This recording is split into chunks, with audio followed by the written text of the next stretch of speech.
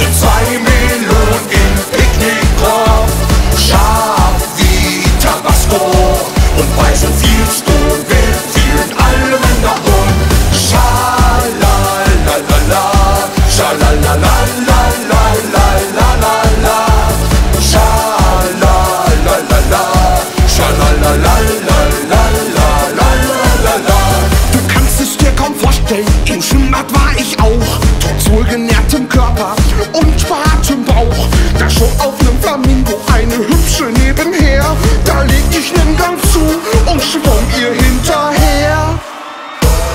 Sie war scharf wie Tabasco und hatte zwei Melonen im Picknickrohr. Scharf wie Tabasco und weiß so viel zu viel Almendabon. Schalalalala, schalalalala